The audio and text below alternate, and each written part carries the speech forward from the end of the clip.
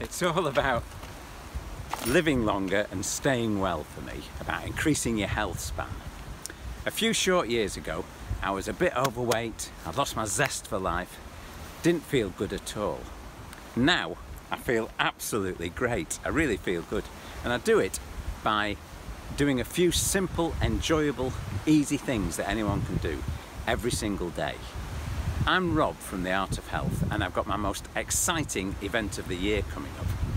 It's called Feel Fab in 5. Five minutes a day for five days. Starts on the 20th of January. It's all online and I'd love to see you there.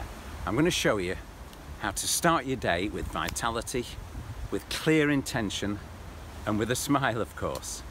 Okay, click the link below for more information and hopefully I'll see you on the 20th. Have a great day.